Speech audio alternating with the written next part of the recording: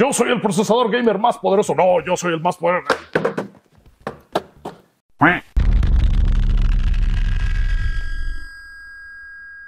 Adictos digitales, bienvenidos de nuevo. El día de hoy tenemos aquí a los dos titanes de AMD con tecnología 3D Cache. De este lado tenemos el campeón que ya muchos de ustedes conocen. Este es el 5800X3D, es un Ryzen 7 y bueno, pues ha sido el campeón del gaming sin tener que ser el procesador más caro de todo el lineup ya por un buen rato. ¿Y qué tenemos acá? El contrincante nuevo a destronar a este pequeñín.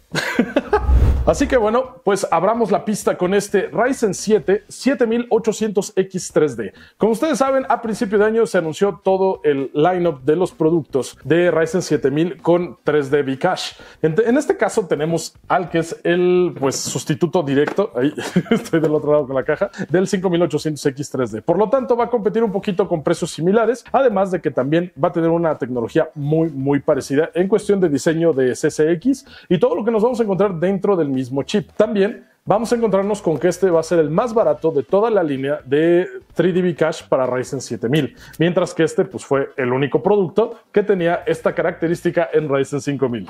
De las diferencias notables, sabemos que Ryzen 5000 es PCI Express 4.0 y bueno, pues el socket anterior que era todavía PGA, o sea, teníamos los pines en el procesador, así como en Ryzen 7000 varias cosas cambiaron. Este procesador ya viene para lo que es DDR5 y también PCI Express 5.0, de hecho este es DDR4.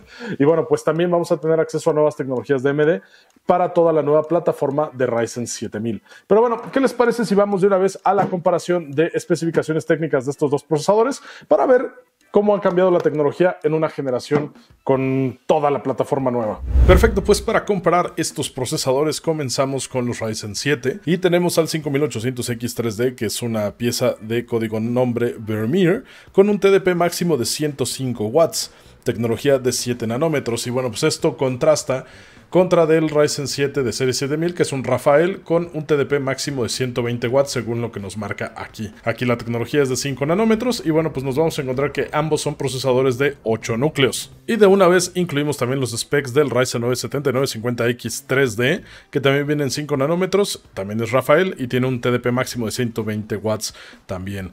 Digo, obviamente se comportan diferente, el 7950X 3D consume un poco más de energía porque tiene más núcleos, pero bueno, vamos a platicar de eso. La comparativa se centra básicamente entre los dos Ryzen 7. Y ya que trajimos al Ryzen 9 7950X3D a la comparativa, hablemos de precios. 699 para el tope de gama de Ryzen 7000 con 3D V-Cache. Pero si nos vamos al 7800X3D, que es la estrella de esta comparativa, vemos un precio sugerido de venta al mercado en 449 dólares americanos, que es el mismo MSRP que teníamos con el 5800X3D. Por lo tanto, ahí se van a estar peleando al tú por tú en cuestión de precios.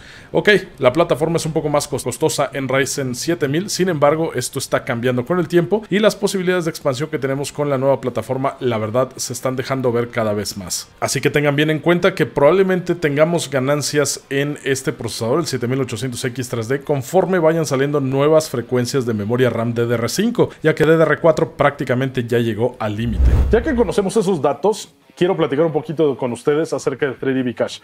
Esta es una memoria que tiene una tecnología interesante. Cuando nosotros vemos el acomodo de los chips, son acomodos planares. Cuando hablamos de 3D Cache, estamos hablando de que son pues eh, escalonamientos. Tenemos prácticamente una capa con todos los componentes y vamos a tener una siguiente capa con el 3D Cache. ¿Para qué queremos la memoria caché tan cerca del procesador? Bueno, pues es memoria que puede agarrar en cualquier momento para usarla en cualquier momento. Entonces, entre más cerca esté, es más rápido. ¿Qué flujos de trabajo se benefician con esto? Los juegos. Entonces, para todos los que son gamers y que realmente no necesitan un procesador tope de, gama como un 7950X, pues precisamente un 7800X 3D tiene muchísimo sentido. Y esto lo dejó más que claro en la generación anterior. Por lo tanto, muchos que están dudando todavía si subirse o no a Ryzen 7000, este producto probablemente sea el producto vende plataformas. Sobre todo porque va a ofrecer un precio bastante más contenido que los topes de gama de esta generación, incluso con 3D Cash, y porque es un, aunque es un producto un poquito más limitado que sus hermanos mayores, definitivamente para gaming no requieres tanto. Y la ventaja es que el costo también va a ser más contenido, como este otro también ya nos lo mostró en el pasado, dando un producto ganador para todos aquellos que quieran el mejor rendimiento por un precio no tan elevado, que es lo que he estado diciendo varias veces porque en realidad es excelente. Y ahora, ¿qué pasó? En realidad nos vamos a encontrar diferencias no solo en arquitectura, no solo en filosofía, no solo en diferentes cosas con estos dos procesadores, sino también en rendimiento, que es lo que esperamos con el salto generacional. Pero para eso creo que es momento de que vayamos a las pruebas de rendimiento donde vamos a comparar estos dos pequeños titanes, así como también podríamos echar ahí en la mezcla algo más que también tenga 3D Cache, no sé, vamos a ver. Iniciamos con las características de nuestros bancos de pruebas. Para AM4 con el 5800X3D tenemos memoria RAM DDR4 a 3600 megatransfers, así como también la RX 7900 XTX. Esta tarjeta gráfica se va a utilizar también en nuestro banco de pruebas para Ryzen 7000. Acá la diferencia es la memoria RAM a 6000 megatransfers con perfil Expo, totalmente para AMD. Y bueno, pues les digo, la misma tarjeta de video. Empezamos con 3D Mark Times Spy, esta prueba de 3D Mark que la verdad ya la hemos utilizado bastante y recuerden que esto es en 1440p. Tenemos aquí diferentes scores, general, gráfico y de CPU. En este caso vamos a checar los de CPU. Para nuestro 7800X3D tenemos 13.977 puntos contra el 5800X3D que nos está dando 11.499. Como 1.500 puntos de diferencia entre uno y otro, bastante diferencia y ahí estamos viendo que realmente el CPU se está está despegando. En cuestión del 7950X3D esperábamos que diera mucho más arriba, 16.299 puntos porque evidentemente tiene más núcleos, así como también pues puedes tirar un poquito más las piernas en cuestión de boost. En cuestión de, de score gráfico vemos algo muy interesante, el que sacó el score más abajo es el 7950X3D, mientras que tanto el 5800X como el 7800X andan más arriba en esta prueba. Interesantes resultados, ahí estamos viendo también que a veces es mejor tener menos núcleos para que esto se mueva mejor. Vámonos con 3D Mark Time Spy Extreme. Y bueno, pues aquí obviamente mayor puntaje es mejor. Y estamos viendo las diferencias entre estos CPUs también. Empezamos con el puntaje de CPU de esta prueba, donde claramente el 7800X3D es mejor que el 5800X3D. Sin embargo, pues a mayor número de núcleos e hilos, el 7950X3D deja estos dos en la calle. Estamos viendo que son diferentes categorías totalmente y que pues sí, la diferencia de precios aquí también nos hace una, pues una distinción clara. Pero, por ejemplo, cuando vemos el score gráfico, que es de las tarjetas, eh, lo que nos está entregando la tarjeta gráfica, están muy parecidos todos, la verdad. Realmente aquí el que nos da mayor puntaje es el 7800X3D. Y en el score general, pues vemos la misma tendencia básicamente.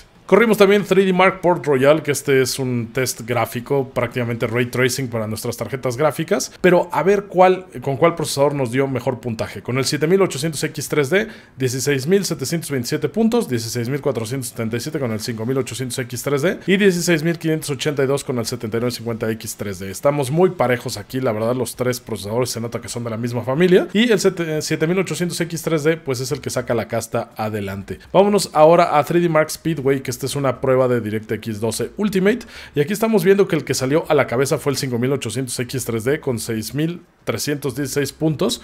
Pero los otros dos procesadores están pues a menos de 100 puntos de diferencia, están ahí pegaditos. Entonces la verdad se sigue notando que son de la misma familia, bueno, del mismo tipo de, de diseño. Vámonos ahora a 3D Mark Night Raid.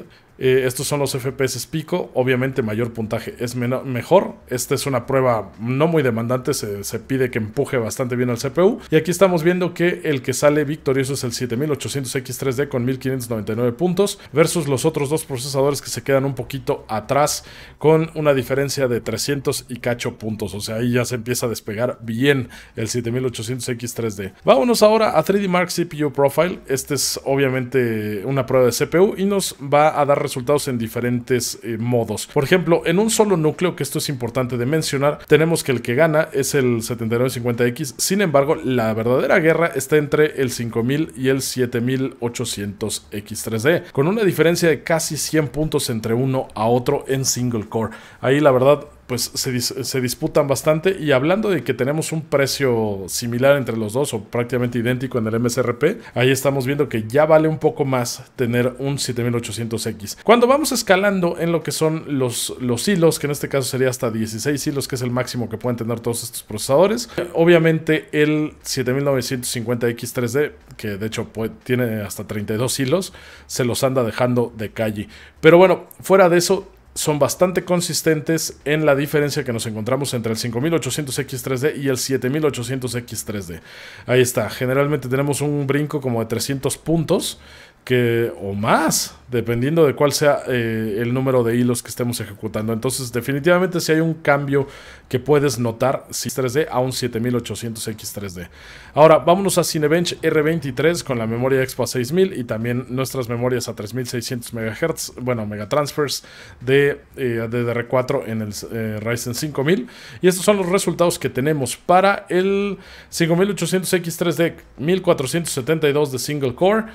Tenemos y 1807 de single core, el 7800X3D. Y el 7950X3D salió victorioso con 2032 puntos. Sin embargo, aquí sí hay un salto importante de 400 puntos en Cinebench, de 5800X3D a 7800X3D. Bien. Y eso que es el mismo costo sugerido de venta al mercado. Multicore en Cinebench R23. Ahí estamos viendo que el que pues, se los pasa completamente por el arco del triunfo es el 7950X3D, que sabemos que es un procesador con muchísimos núcleos. Pero vemos nuevamente la ventaja del 7800X3D con respecto al 5800X3D. Ahí está. Por el mismo precio ya estamos teniendo una diferencia de 4000 puntos en multicore. Por, por lo tanto, cualquier labor profesional que hagas con ese procesador se va a beneficiar de que tengas el más nuevo. AIDA 64, el test de estrés, nos está arrojando las siguientes temperaturas y esto yo creo que es el punto más importante. Estamos probando estos procesadores con eh, refrigeraciones líquidas muy similares y nos está dando los siguientes resultados. Estamos utilizando un enfriamiento líquido de 360 milímetros y bueno, pues tenemos en el 5800X3D uno de 280 milímetros. ¿Qué tenemos aquí de diferencia de, de enfriamiento. Para el 7950X3D tenemos hasta 68 grados de CPU, el hotspot en 69, el 5800X3D llegó hasta 90 en ambas cosas en esta prueba y el 7800X3D se mantuvo a 61 grados en CPU, 62 de hotspot, quiere decir incluso más frío que el 7950X3D. Eh, todos estos tenemos el perfil de enfriamiento stock, no estamos moviendo nada de que estén al 100% los ventiladores ni nada, sino estos son resultados que ustedes pueden esperar con sus procesadores. Entonces, técnicamente ya sabíamos del 5800X3D, que es un poco más caliente que el 5800X normal.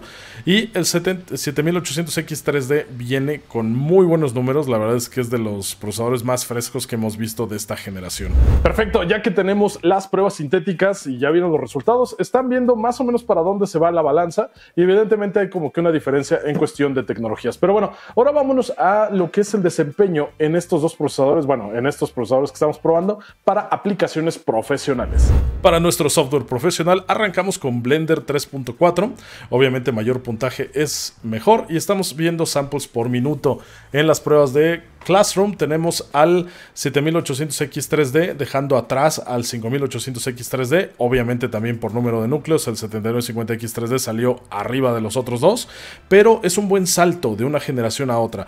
7800X3D en Junk Shop también le está sacando buenos números, 85 contra 65 de la prueba de Junk Shop, eh, contra del 5800X3D, y si nos vamos a la prueba de Monster, también estamos viendo ahí una diferencia de 30 samples por minutos, 34 con respecto al 7800X3D versus el 5800X3D. Perfecto. Nuevamente, vámonos ahora a otras pruebas. Estamos con Puget Bench en DaVinci Resolve. Mayor puntaje es mejor. Obviamente tenemos aquí al 7800X3D dejando atrás al 5800X3D. Estamos viendo que realmente se desempeña mejor. El IPC de este procesador es más alto, entonces vamos a tener mejor desempeño en general. Un buen salto generacional si ustedes me lo preguntan. Vámonos ahora a V-Ray, el resultado de CPU. Estamos aquí viendo los V-samples y obviamente también está esa diferencia que ya vimos como tendencia en los demás resultados. 5800X3D, 10.784 puntos contra 14.276 del 7800X3D. Y bueno, pues el otro procesador, el Ryzen 9, definitivamente está en una clase diferente para trabajo. Pero bueno, si tú estás en este punto porque juegas más de lo que haces trabajo profesional, seguramente el 7800X3D ya se está viendo atractivo. Vámonos ahora a Puget Bench con Photoshop 2023. Y aquí el, obviamente el mayor puntaje 3D es mejor. 5800X3D se queda hasta atrás con 988 puntos. El 7950X3D 1661 contra el 7800X3D con 1576 puntos, dándonos un sweet spot de costo-beneficio. Vámonos ahora a Puget Bench Premier Pro 2023. Obviamente mayor puntaje es mejor. Y aquí, como ya sabemos, el 7950X sale a la delantera por el número de núcleos, pero también estamos viendo ya una clara diferencia entre 5800X3D y 7800X3D. Quizás para Premiere están algo cerca, sin embargo ya hay una diferencia que se puede sentir a la hora de exportar o renderizar video. SpecView Perf 2020 Vamos a ver los puntajes que nos están entregando aquí. En 3D Studio Max tenemos el 7950X 3D, no sobresaliendo de los demás, lo cual es interesante. Y mientras que el 5800X 3D en la mayoría de estas pruebas se quedó atrás de los otros dos. 7800X 3D en 3D Studio Max 290 FPS contra 269 del 5800X3D. Cuando nos vamos a Katia es lo mismo, 190 para el 5800X3D contra 200 FPS del 7800X3D. Recuerden que estas pruebas son más que nada para previsualización, entonces van a funcionar más o menos como en videojuegos, hablando del desempeño. Por lo tanto, para todas estas pruebas el 7800X3D salió ganador. Y ahora, pues vamos a lo que es lo más importante con estos procesadores. Vámonos directamente a hacer las pruebas en videojuegos para ver realmente cómo estiran las piernas con las tarjetas de video más potentes de AMD. Para videojuegos arrancamos con Cyberpunk 2077 con los settings en alto, FSR en performance. Y bueno, pues seguimos con la misma tendencia, prácticamente el 7800X3D sale más arriba que el 5800X3D. A veces por mucho, a veces por no tanto. Y bueno, pues definitivamente el 7950X nos está dando un mejor resultado. Pero si tomamos en cuenta de que el 7000 y el 5800X cuestan lo mismo en precio sugerido, ahí ya estamos viendo que obtienes más por tu dinero con el Series 7000. Vámonos ahora a Shadow of the Tomb Raider, settings en alto. Y bueno, pues mayor puntaje es mejor. Aquí estamos viendo también que nuevamente el 7800X3D está dando los mejores resultados de la tabla, incluso por sobre del 7950X3D. Todas estas pruebas siguen con nuestra tarjeta gráfica, la RX 7900 XTX. Y bueno, pues esto es lo que podemos esperar en esta resolución, que es 1080p o 1440p. Para el 330 FPS en 1080p contra 278 en 1440p para el 7800X3D. Ya los otros se quedaron atrás de este número. Y bueno, pues vámonos ahora con Horizon Zero Dawn, que estamos utilizando los settings originales. Y bueno, pues obviamente mayor puntaje es mejor. En 1440p estamos viendo que el 7800X nos está dando también el mejor puntaje si utilizamos FSR o sin FSR. Para FSR 299 FPS 260 para el renderizado directo. Esto es en 1440p. Si nos vamos a 1080p, estamos perdiendo prácticamente desempeño porque ahí se normaliza y tenemos el 7800X3D entregando 294 FPS, no importando si es con FSR o no. Mientras que el 5800X3D sí se mantiene acá, nos entrega un poquito más de números que con en 1440p, pero igualmente 252, 251 FPS y el 7950X3D en 1080p igual nos está generando ahí una especie de cuello de botella y dando menores números que el 7800X3D. Nada mal, ahí estamos viendo que realmente costo-beneficio, el 7800X3D eh, en versus sus hermanos mayores, pues para gaming sí nos da una buena, una buena razón para cambiar o para estar ahí. Spider-Man Miles Morales en los settings muy altos, con ray tracing en alto, FSR en performance, obviamente mayor puntaje es mejor. Y tenemos aquí en 1440p el 7950X3D dándonos un resultado de 139 normal con FSR 152. El 5800X3D nos está dando el un resultado paupérrimo en esta prueba, pero dado lo que hemos visto en, en otras pruebas y en otros videos, esto es lo que nos está dando con esta plataforma. Por alguna razón, este título de Spider-Man no corre bien en este, en este procesador. Sin embargo, para los procesadores nuevos anda de volada. Y aquí estamos viendo que el 7800X3D en 1440p le gana también al 7950X. Y bueno, en 1080p tenemos igualmente esta tendencia, donde el 7950 y el 7800X3D andan muy parejos, mientras que el 5800X3D se quedó totalmente ahí con este cuello de botella o, falta de optimización para la plataforma con únicamente 100 FPS, no importando si son FSR o sin FSR. Vámonos ahora a Fortnite, donde estamos teniendo un poquito de problemas con la estabilidad de la, de la temporada que se hicieron ciertas pruebas, sobre todo con el 7950X3D, pero tomemos en cuenta los números de nuestros otros dos procesadores Ryzen 7. Entonces, para 1440p estamos viendo que el rendimiento del 7800X3D es bastante bueno, con 395 FPS aquí con, eh, con el escalado encendido. Y bueno, si vamos al pues eh, renderizado directo, 254 un incremento que se nota con respecto al 5800X3D, pero que se queda un poco atrás de los números que estamos viendo del 7950X. La misma historia la estamos viendo en 1080p, que bueno, ahí como que los tres procesadores están un poco más cerca unos de otros. Ahora, vámonos a CSGO con los settings abajo, tratando de empujar los más FPS que se pueda. Y aquí estamos viendo diferentes resoluciones, 4K, 1440p y 1080p. Para el 7950X3D estamos viendo que los números están muy parecidos a lo que estamos viendo con el 7800X3D, solamente un poco más altos. Y CSGO es un juego que se considera CPU bound, que quiere decir que utiliza bastante de tu CPU. Y en esta prueba el 5800X3D se queda hasta atrás en números, es el que nos está ofreciendo menos rendimiento de estos tres procesadores. Sin embargo, nuevamente el argumento del precio tenemos aquí que el 7800X3D es el mejor. Vámonos con Resident Evil 4 Remake con el preset máximo FSR en performance y la misma historia se cuenta donde el 7800X3D con la 7900XTX lleva la delantera tanto con FSR encendido 201 FPS como apagado 193 FPS, mientras que los otros dos procesadores se quedan muy cerca uno de otro. Y bueno, pues ahí estamos viendo.